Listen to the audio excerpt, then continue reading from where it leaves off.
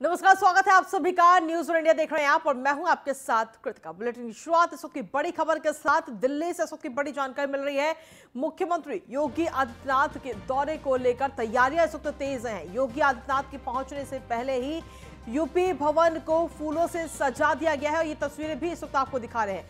UP भवन की ये तस्वीरें, जहाँ पर अब से कुछ ही देर में मुख्यमंत्री योगी आदित्यनाथ पहुँचेंगे और उनके पहुँचने से पहले ही यूपी भवन को पूरी तरह से सजा दिया गया है। दोपहर के बाद में प्रधानमंत्री मोदी से मुलाकात करेंगे मुख्यमंत्री योगी आदित्यनाथ। इसके अलावा केंद्रीय गृह मंत्री अमित शाह, राष्ट्रीय अध्यक्ष जेपी नड्डा और इसके अलावा बीजेपी के शीर्ष नेतृत्व से भी मुलाकात सीएम योगी आज करेंगे।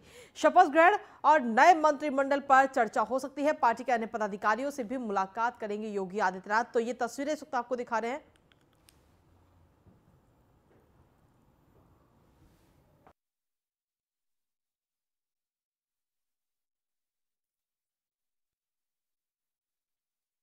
तस्वीरें, दिल्ली की ये तस्वीरें इस वक्त आपको दिखा रहे हैं। दिल्ली के यूपी सदन की ये तस्वीरें, जहाँ पर अब से कुछ ही देर में मुख्यमंत्री योगी आदित्यनाथ पहुँचेंगे। एक तरह से देखा जाए तो एक बड़ी जीत के बाद यूपी सदन मुख्यमंत्री आज पहुँचेंगे और इसी खुशी में यूपी सदन को पूरे फूलों के द्वारा सजा दिया गया है।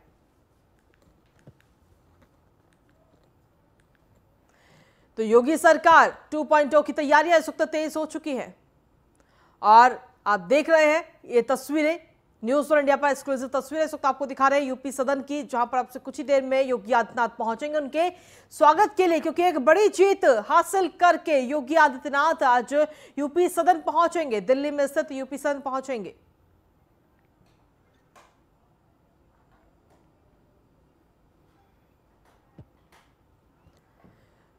तो अब से कुछ ही देर में मुख्यमंत्री योगी आदित्यनाथ हिंडन एयरपोर्ट पहुँचेंगे उसके बाद में रोड के रास्ते दिल्ली में स्थित यूपी सदन जाएँगे मुख्यमंत्री योगी आदित्यनाथ। और उसके बाद में आज प्रधानमंत्री नरेंद्र मोदी, केंद्रीय गृह मंत्री अमित शाह, राष्ट्रीय अध्यक्ष जेपी नड्डा और साथ ही भारतीय जनता पार्टी के जो शीर्ष नेतृत्व है, उन सभी नेताओं से मुलाकात योगी आदित्यनाथ करेंगे।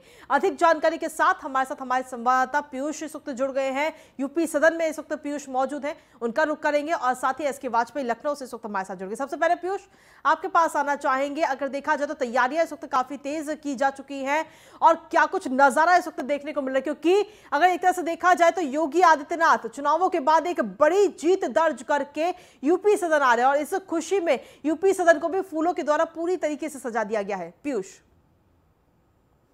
जी बिल्कुल। देखिए इस वक्त हम उत्तर प्रदेश सदन में ही मौजूद हैं और आपको तस्वीरें दिखाते हैं किस प्रकार से फूलों से उत्तर प्रदेश सदन को पूरे उत्तर प्रदेश सदन को सजाया गया है। यहाँ पे वेलकम लिखा गया है। इसी रास्ते उत्तर प्रदेश सदन में योगी आदित्यनाथ जाएँगे और यहाँ पे तमाम तैयारियाँ पूरी कर ली गई है। तमाम जो भारतीय जनता पार्टी के नेता है कार्यकर्ता है वो भी उत्तर प्रदेश सदन में आए हुए हैं। योगी आदित्यनाथ की जो जो स्वागत है उस उसके लिए और हिंदू वाहिनी के जो कार्यकर्ता है वो भी उत्तर प्रदेश सदन में आ चुके हैं। थोड़ी देर का वक्त बचा है जब उत्तर प्रदेश के सीएम योगी आदित्यनाथ योगी आदित्यनाथ यहाँ पे आएँगे। उनके साथ तमाम जो भारतीय जनता पार्टी के बड़े बड़े पदाधिकारी हैं, वो भी यहाँ पे मौजूद होंगे। जो सीएम की सिक्योरिटी है, वो यहाँ पे आ गई है। इसके अलावा अगर हम बात करें तो तमाम जो बड़े नेता है, वो यहाँ पे धीरे धीरे आने शुरू हो गए हैं। चूँकि नौ बजे का कार्यक्रम था सीएम योगी आदित्यनाथ का, लेकिन थोड़ा सा विलंब ज़रूर हो रहा है। बताया जा रहा है कि करीब पाँच बजे के आसपास सीएम योगी आदित्यनाथ मुलाकात कर सकते हैं प्रधानमंत्री से। इसके अलावा तमाम जो बड़े नेता हैं उनसे भी मुलाकात सीएम योगी आदित्य करेंगे। इसके अलावा अगर हम बात करें तो चाहे वो बात करें सुनील बंसल की वो भी आ रहे हैं स्वतंत्र देव सिंह खुद आ रहे हैं। तो जीत के बाद पहली बार दिल्ली दौरा जो योगी आदित्यनाथ का है वो होने वाला है और थोड़ी देर का वक्त बचा है। आप देखिए किस प्रकार से यहाँ पे जो तैयारियाँ हैं वो कर ली गई है। जो सीएम के सिक्योरिटी में जो लोग रहते हैं जो अधिकारी रहते हैं वो यहाँ पे आए हैं। फूलों से पूरी तरीके से सजा दिया गया है। तमाम मीडिया कर्मी यहाँ पे मौजूद हैं। तो जो तैयारी है उत्तर प्रदेश सदन में पूरी कर ली गई है। तमाम जो जो बैठकें होंगी उसके बाद सीएम योगी यहाँ पे आएँगे। इसके बाद अलग अलग जगहों पे सीएम योगी जाएँगे जिनके साथ सीएम योगी की मुलाकात होने वाली है। चाहे गृह मंत्री अमित शाह की बात करें रक्षा मंत्री राजनाथ सिंह की बात करें या खुद प्रधानमंत्री की बात करें। शाम का समय बताया जा रहा है जब प्रधानमंत्री से योगी मिल सकते हैं योगी आदित्यनाथ मिल सकते हैं। इसके अलावा भी तमाम बड़े पदाधिकारियों से मिलने का जो कार्यक्रम है वो तय किया गया है। तो प्रचंड जीत भारतीय जनता पार्टी को उत्तर प्रदेश में मिला था जनादेश एक बड़ा जनादेश मिला था। उसके बाद दिल्ली दौरा सीएम योगी का काफ़ी अहम हो जाता। जी, चलिए पीयूष, आप लगातार वहाँ बने रहिए, आगे भी आपसे जानकारी लेंगे और इसके साथ हमारे साथ लखनऊ से हमारे संवाददाता एस के वाजपेयी भी लगातार जुड़े हुए हैं।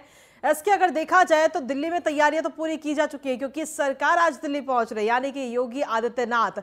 और सीधे तौर पर देखा जाए तो सरकार में कौन कौन लोग शामिल होंगे, क्या कुछ मंत्रिमंडल रहेगा, शपथ ग्रहण का कार्यक्रम कब होना है कौन कौन इसमें शामिल होगा, इन तमाम चीज़ों पर आज चर्चा होगी दिल्ली के अंदर। मुख्यमंत्री कहीं सीधे तौर पर प्रधानमंत्री से मुलाकात करेंगे, गृह मंत्री से मुलाकात करेंगे। एस के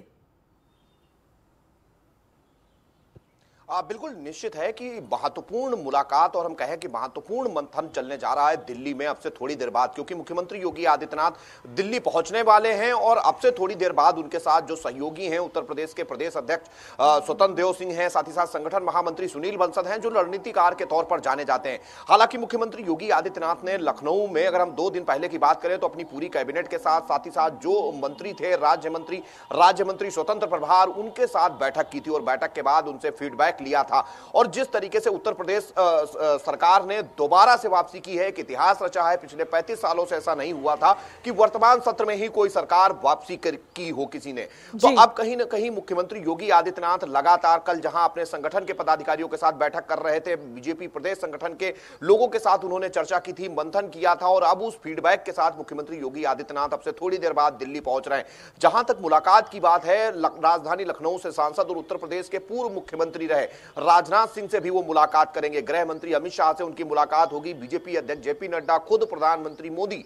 और उसके अलावा अगर हम बीजेपी के संगठन महामंत्री की बात करें बीएल संतोष उसके अलावा जो उत्तर प्रदेश में जिनको चुनाव प्रभारी बनाया गया था धर्मेंद्र प्रधान साथ ही साथ चुनाव सह प्रभारी और केंद्रीय मंत्री अनुराग ठाकुर उसके अलावा यूपी बीजेपी के प्रभारी राधा मोहन सिंह ये वो बड़े चेहरे होंगे जो कि मुख्यमंत्री योगी आदित्यनाथ की इस बैठक में शामिल होंगे। निश्चित है कि बैठक महत्वपूर्ण है क्योंकि उत्तर प्रदेश देश का सबसे बड़ा सूबा है। और मुख्यमंत्री योगी आदित्यनाथ ने कई मिथक तोड़े हैं। अगर हम 2017 की बात करेंगे तो उत्तर प्रदेश में कोई मुख्यमंत्री का चेहरा नहीं था। और इस बार मुख्यमंत्री योगी आदित्यनाथ के चेहरे पर चुनाव लड़ा गया और जीता भी गया। और इतिहास रचा 35 साल का जो रिकॉर्ड था उसको भी भारतीय जनता पार्टी ने तोड़ा है।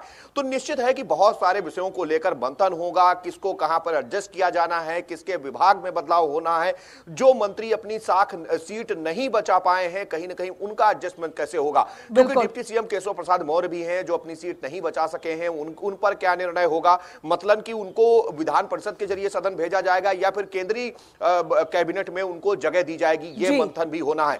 Deputy deputy CM doctor Dinesh Sharma जिनको कहीं से भी भारतीय जनता पार्टी ने नहीं लड़ाया है आखिर उनको कहाँ पर एडजस्टमेंट किया जाएगा? उसके अलावा बेबी रानी मौर्य जो कि राज्यपाल रही हैं और छोड़कर भारतीय जनता पार्टी शामिल हुई थी और अब वो आगरा ग्रामीण से विधायक है उनका एडजस्टमेंट क्या होगा? क्योंकि महिलाओं ने बड़े पैमाने पर भारतीय जनता पार्टी को वोट किया है। बिल्कुल। अगर हम उनके सहयोगी दलों की बात करें तो अपना दल जो एस है जिसमें अनुप्रिया पटेल खुद केंद्रीय मंत्री हैं उनके एक मंत्री जय कुमार जैकी उत्तर प्रदेश सरकार में कारागार मंत्री रहे तो इस बार बार अपना दल को क्या दिया जाएगा? क्योंकि पिछली बार अपना दल की नौ सीटें थी और इस बार बारह हैं। तो निश्चित है कि तीन मंत्री उनके कोटे से हो सकते हैं। वहीं अगर हम दूसरे सहयोगी दल बात करें निषाद पार्टी की तो निषाद में जहाँ डॉक्टर संजय निषाद को खुद बीजेपी ने एमएलसी बनाया है उनके एक बेटे सांसद हैं दूसरे बेटे विधायक हैं उसके अलावा उनकी पार्टी के इस बार ग्यारह विधायक जीत कर आए। अगर हम इसके पहले दो हज़ार सत्रह में देखेंगे तो एक भी विधायक निषाद पार्टी का नहीं था। तो भारतीय जनता पार्टी के साथ आने के बाद सीधे तौर पर सबसे बड़ा फ़ायदा अगर किसी का हुआ है तो वो निषाद पार्टी है। तो उनको लेकर क्या एडजस्टमेंट होगा? अभी तक जो चीज़ें निकलकर सामने आ रही कि निषाद डॉक्टर संजय निषाद का मंत्री बनना बिल्कुल तय है। ये भी संभव है कि उनके जो कोटे से मंत्री बनकर आए हैं कहीं ना कहीं उसमें भी एक या दो लोगों को जगह दी जा सकती है। तो ये वो बहुत महत्वपूर्ण चीज़ें हैं जिनको लेकर मंथन होगा। दूसरा अगर हम प्रशासनिक अधिकारियों की बात करें तो राजधानी लखनऊ की सरोजनी नगर सीट जो कि मंत्री स्वाति सिंह की हुआ करती थी उस पर डॉक्टर राजेश्वर सिंह जो कि ईडी में ज्वाइंट डायरेक्टर रहे हैं। अब वो चूँकि विधायक हैं तो उनको भी एडजस्टमेंट करना है। कानपुर के पुलिस कमिश्नर रहे असीम अरुण जो कि कन्नौज से जीत कर आए हैं उन पर भी कहीं ना कहीं फैसला होना है। ये वो बड़े चेहरे हैं। उत्तर प्रदेश के कानून मंत्री की अगर हम बात करें ब्रजेश पाठक जो कि कहीं ना कहीं ब्राह्मण चेहरे के तौर पर जाने जाते हैं उनका कद बढ़ाया जा सकता है। बीजेपी ने पिछले अगर हम चार महीनों का रिकॉर्ड देखेंगे तो चार लोगों को भारतीय जनता पार्टी में अलग अलग क्षेत्रों में ज्वाइन कराया और इस रणनीति के तहत ज्वाइन कराया कि कहीं ना कहीं बीजेपी की परफॉर्मेंस बेहतर हो जो एंटी इनकम्बेंसी है उसको घटाया जाए जिसमें लक्ष्मीकांत वाजपेयी जो कि ज्वाइनिंग कमेटी के चेयरमैन हैं बीजेपी के पूर्व प्रदेश अध्यक्ष रहे 2014 में जब भारतीय जनता पार्टी ने देश में सर्वाधिक सीटें तिहत्तर सीटें उत्तर प्रदेश से लोकसभा की जीती थी उस दौरान वही प्रदेश अध्यक्ष थे। तो ये वो महत्वपूर्ण चेहरे हैं जिनका कद बढ़ाया जा सकता है जिनको बड़े पद सरकार में दिए जा सकते हैं। तो निश्चित है कि मुख्यमंत्री फीडबैक के साथ पहुँच रहे हैं दिल्ली और आज जब वहाँ पर बैठक होगी तो कहीं ना कहीं इन विषयों को लेकर मंथन होगा और मंथन के बाद केंद्रीय नेतृत्व जो शीर्ष नेतृत्व है वो इस पर अपनी मोहर लगाएगा। और सबसे बड़ी बात यह है कि जब केंद्र का चुनाव होगा 2024 में तो उसका रास्ता उत्तर प्रदेश से होकर जाता है। यही एक बड़ी वजह है कि जो यूपी कैबिनेट का जो शपथ ग्रहण होगा जिसमें मुख्यमंत्री योगी आदित्यनाथ खुद शपथ लेंगे और उनके साथ में उनके सहयोगी मंत्री भी शपथ लेंगे डिप्टी सीएम भी शपथ लेंगे वो भव्य और दिव्य बनाया जाएगा। उसमें प्रधानमंत्री मोदी गृह मंत्री अमित शाह रक्षा मंत्री राजनाथ सिंह उसके अलावा उत्तर प्रदेश के चाहे चुनाव प्रभारी धर्मेंद्र प्रधान हो चुनाव सह प्रभारी अनुराग ठाकुर हो या यूपी बीजेपी के प्रभारी राधा मोहन सिंह हो ये बड़े चेहरे के साथ ही जो केंद्रीय कैबिनेट के मंत्री हैं वो इसमें शामिल होंगे। बीजेपी शासित सभी प्रदेशों के मुख्यमंत्री शामिल होंगे। तो निश्चित है कि उसको लेकर कार्यक्रम तो होगा ही शपथ ग्रहण समारोह जो होने वाला है उसे बहुत ही भव्य तो बनाया जाएगा ही। इसके आप लगातार बने रहिए पीयूष भी हमारे साथ जुड़े हुए पीयूष अगर देखा जाए तो इस बार एक चुनौती ये भी होगी कि जनता के बीच में एक मैसेज देना उन लोगों को मंत्रिमंडल में शामिल करना जो 2024 में फ़ायदेमंद साबित हो लोकसभा चुनावों के दौरान।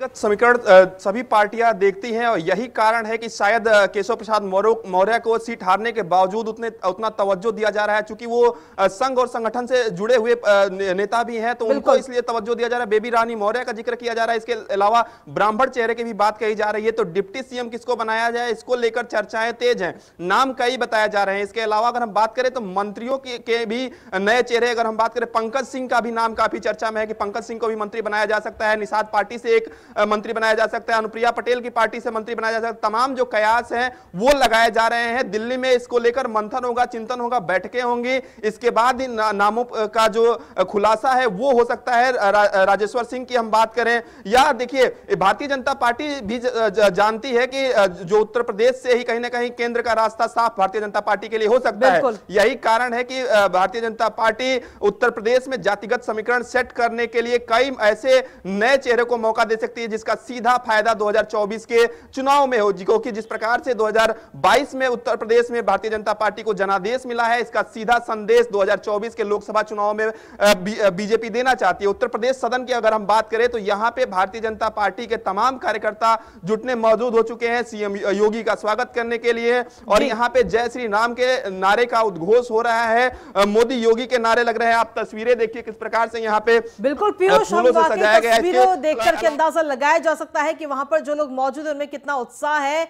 मुख्यमंत्री योगी आदित्यनाथ के आगमन को लेकर पीयूष आप लगातार बने रहिए और एसके वाजपेयी आप भी लगातार बनिए, आगे भी आपसे जानकारियाँ लेंगे।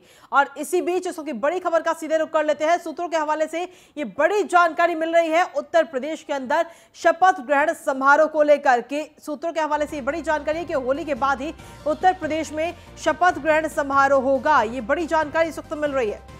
होली के बाद यूपी में होगा शपथ ग्रहण समारोह। इस वक्त की बड़ी जानकारी आपको दे रहे और योगी सरकार का शपथ ग्रहण समारोह होली के बाद, क्योंकि अंदाज़ा इसलिए भी यह लगाया जा सकता है कि अभी 10 मार्च से लेकर के 18 मार्च तक होलाष्टक चल रहे हैं। तो होलाष्टक में कोई भी शुभ कार्य, कोई भी मंगल कार्य नहीं होता है।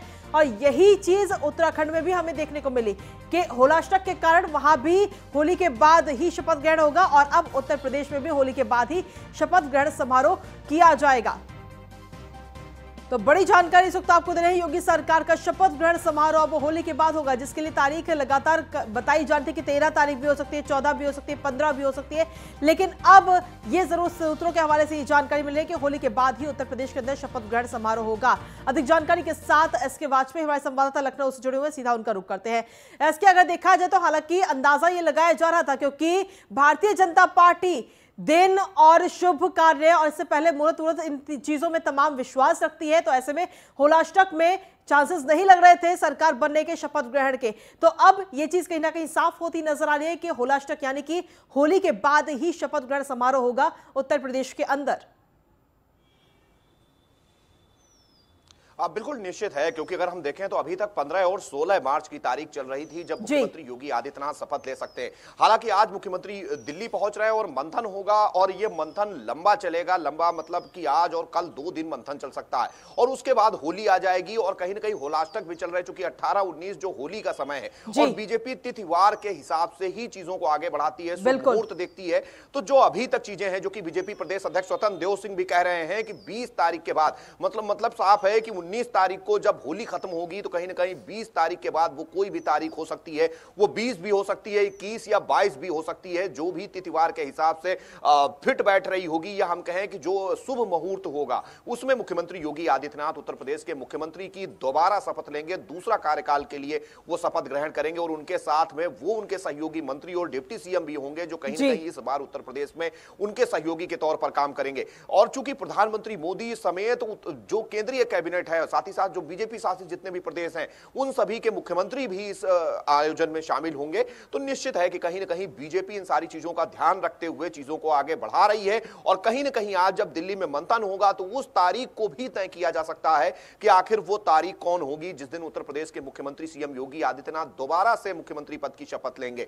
तो ये बहुत सारी चीज़ें हैं जिन पर लगातार आज मंथन चलेगा। आज का दिन महत्वपूर्ण है, क्योंकि उत्तर प्रदेश देश का सबसे बड़ा सूबा है और बीजेपी ने एक इतिहास रचा है पिछले पैंतीस सालों की अगर हम बात करें तो किसी सरकार ने इमीडिएट सत्र में वापसी नहीं की थी और मुख्यमंत्री योगी आदित्यनाथ ने की है नोएडा जाने वाले मुख्यमंत्री कभी वापसी नहीं करते हैं यह भी ऐसा वितक था जिसमें चाहे मुख्यमंत्री मायावती नहीं हो या अखिलेश यादव रहे हो दोबारा वापस नहीं आए। तो कहीं ना कहीं ये बहुत सारी चीज़ें थी जो मिथक मुख्यमंत्री ने तोड़े हैं योगी आदित्यनाथ ने इन सारी चीज़ों को कहीं ना कहीं पीछे किया है और अब जब शपथ ग्रहण होगा तो बीजेपी बहुत सारी चीज़ों का ख्याल रखेगी और कोशिश करेगी कहीं ना कहीं बेहतर चीज़ें जिन चीज़ों को लेकर लगातार विपक्ष सवाल उठा रहा था उनको दूर किया जाए।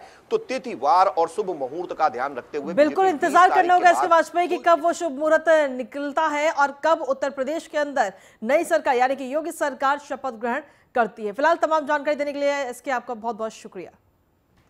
और इसी के साथ चलिए खबरों में आगे बढ़ते हैं। अब चुनावों में करारी हार के बाद में अब कांग्रेस की तरफ़ से बैठक आयोजित की जा रही है। दरअसल कांग्रेस संसदीय दल और सीडब्ल्यूसी की आज बैठक होने वाली है सुबह साढ़े दस बजे। कांग्रेस संसदीय दल की यह बैठक होगी। दस जनपद पर सीपीपी की बैठक बुलाई गई है। संसदीय रणनीति समूह से जुड़े लोग इस बैठक में शामिल होंगे। कांग्रेस कार्यकारिणी समिति की भी बैठक होगी। यानी कि पाँच राज्यों में जो हार का सामना कांग्रेस को करना पड़ा, सीधे तौर पर उसमें रणनीति क्या रही और क्यों हार का सामना करना पड़ा? इस पर ये समीक्षा बैठक बुलाई गई है, जिसमें संसदीय रणनीति समूह से जुड़े लोग शामिल होंगे। कांग्रेस की तरफ़ से जो बड़े नेता हैं, वो इस बैठक में शामिल होंगे। कांग्रेस कार्यकारिणी समिति की भी आज बैठक होनी है। साढ़े दस बजे का समय हालाँकि इस बैठक के लिए रखा गया है। तो पाँच राज्यों में करारी हार के बाद में अब कांग्रेस की ये बैठक है और सीधे तौर पर अगर देखा जाए तो हार की समीक्षा कहीं ना कहीं की जाएगी कि आखिर चुनावों के दौरान कहाँ कमी रह गई, किन चीज़ों में कमी रही जिनको सुधारा जा सकता है, क्योंकि अब अगर देखा जाए तो अगला पड़ाव जो है वो 2024 का होगा, जो सबसे बड़ा टेस्ट रहेगा। और इसी पर अधिक जानकारी देने के लिए हमारे साथ हमारे संवाददाता पीयूष इस वक्त जुड़ गए हैं, सीधा उनका रुख करते हैं दिल्ली से। पीयूष, कांग्रेस भी अब कहीं ना कहीं हार जो पाँच राज्यों में मिली, जो करारी हार हुई, उसकी समीक्षा बैठक आज करने जा रही है। पीयूष। जी बिल्कुल देखिए सीडब्ल्यूसी की बैठक है जिसमें तमाम कांग्रेस पार्टी के पदाधिकारी मौजूद होंगे चाहे सोनिया गांधी की बात करें राहुल गांधी की बात करें केसी वेणुगोपाल की बात करें तमाम वो लोग इस बैठक में मौजूद होंगे और पाँच राज्यों में जिस प्रकार से कांग्रेस पार्टी को करारी हार मिली है इस पर चिंतन मंथन होगा। लगातार चुनावों के दौरान भी आपने देखा होगा कांग्रेस पार्टी लगातार बैठकें कर रही की कर रही थी कि आखिर शीर्ष नेतृत्व में या कांग्रेस पार्टी के बड़े नेताओं में क्या दिक्कत हो जाती है कि आपसी फूट हो जाता है। उत्तराखंड को लेकर भी हमने देखा कि किस प्रकार से दो गुट बन गए थे उत्तराखंड चुनाव को लेकर शायद यही कारण है कि उत्तराखंड में भी कांग्रेस पार्टी को नुकसान उठाना पड़ा। उत्तर प्रदेश की आप बात देखिए लगातार प्रियंका गांधी अलग अलग इलाकों का दौरा कर रही थी। लखीमपुर का मामला उठाया हर जगह प्रियंका गांधी ने दौरा किया और एक माहौल बनाने की कोशिश की गई। पंजाब की बात करें जहाँ माना जाता रहा है कि पंजाब में ही कांग्रेस पार्टी एक मज़बूत स्थिति में कहीं ना कहीं पाँच राज्यों में थी लेकिन पंजाब से भी कांग्रेस पार्टी का एक तरीके से सुपड़ा साफ़ हो गया।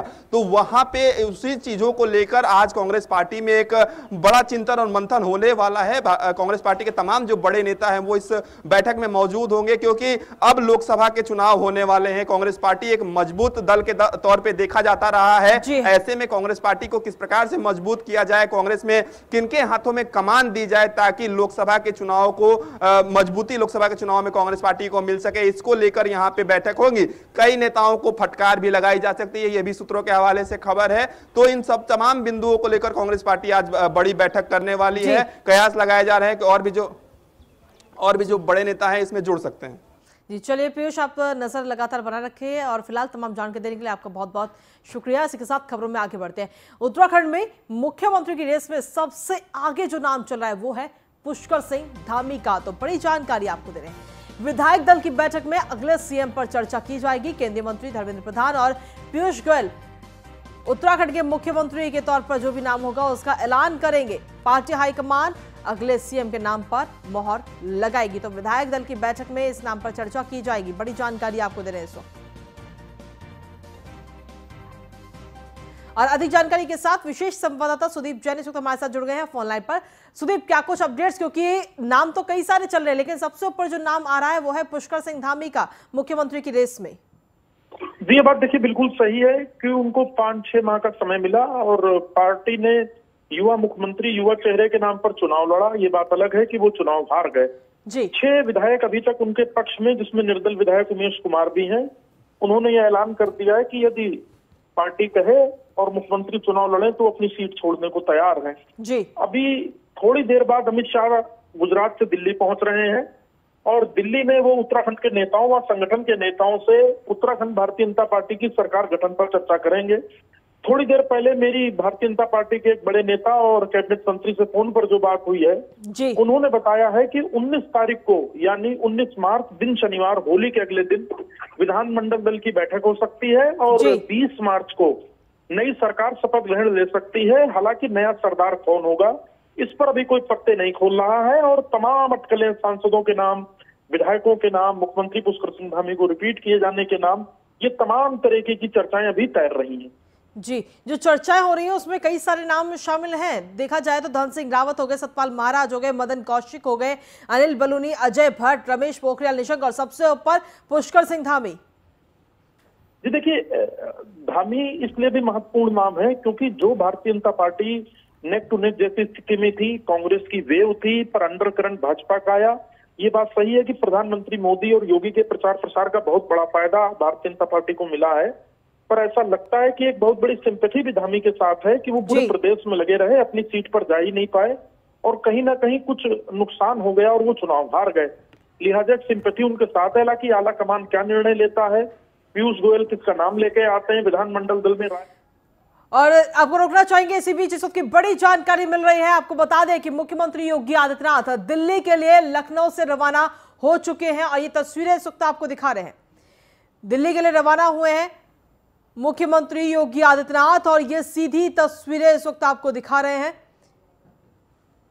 तो ये तस्वीरें आपको दिखाई आपको बता दें कि अब से कुछ ही देर में दिल्ली पहुँचेंगे मुख्यमंत्री योगी आदित्यनाथ और यहाँ पर आके सीधे तौर पर प्रधानमंत्री नरेंद्र मोदी, अमित शाह, जेपी नड्डा और भारतीय जनता पार्टी के जो तमाम नेता हैं, उनसे मुलाकात करेंगे। और इसके लिए सीधे तौर पर अगर देखा जाए तो यूपी सदन को फूलों के द्वारा सजा भी दिया गया है। ये तस्वीरें आपको दिखा रहे हैं दिल्ली के यूपी सदन के, जहाँ पर योगी आदित्यनाथ के आने का इंतज़ार है और किस तरीके से यूपी सदन को सजाया गया है, वो भी तस्वीरों में आप देख सकते हैं। तो मुख्यमंत्री योगी आदित्यनाथ दिल्ली के लिए रवाना हो चुके हैं। एक बड़ी जीत हासिल करने के बाद अब आज, जीत के बाद में पहला दौरा है उनका दिल्ली का। तो लखनऊ से रवाना हो चुके हैं दिल्ली के लिए और अब से कुछ ही देर में दिल्ली पहुँचेंगे। और दिल्ली आकर के सबसे पहले तो स्वागत होगा उनका। यूपी सदन में स्वागत होगा। तमाम जो नेता हैं वो वहाँ पहले से मौजूद हैं। सीएम के स्वागत के लिए योगी आदित्यनाथ के स्वागत के लिए, क्योंकि एक बड़ी जीत के बाद योगी आदित्यनाथ आज दिल्ली आ रहे हैं। और दिल्ली में जहाँ तक जानकारी मिल रही है सूत्रों के हवाले से कि आज शाम पाँच बजे पीएम मोदी के साथ मुलाकात कर सकते हैं। मुलाकात तो तय है कि आज पीएम से मुलाकात होगी। और अधिक जानकारी के साथ एसके वाजपेयी हमारे साथ जुड़ गए हैं फोनलाइन पर। एसके, क्या कुछ ताज़ा अपडेट लखनऊ से निकल चुके हैं? योगी आदित्यनाथ दिल्ली के लिए रवाना हुए हैं।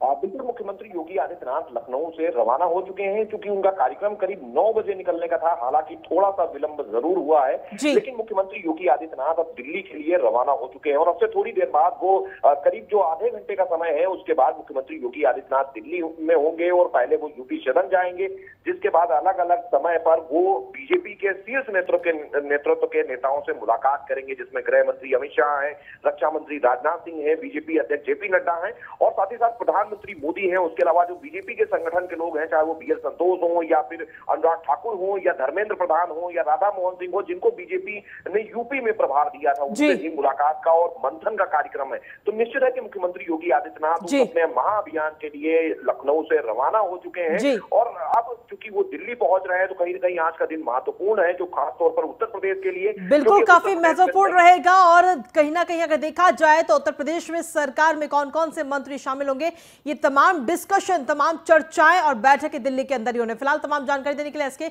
बहुत बहुत शुक्रिया। आप लगातार नज़र बनाए रखें। और खबरों का सिलसिला भी न्यूज़ ऑन इंडिया पर यूँ ही लगातार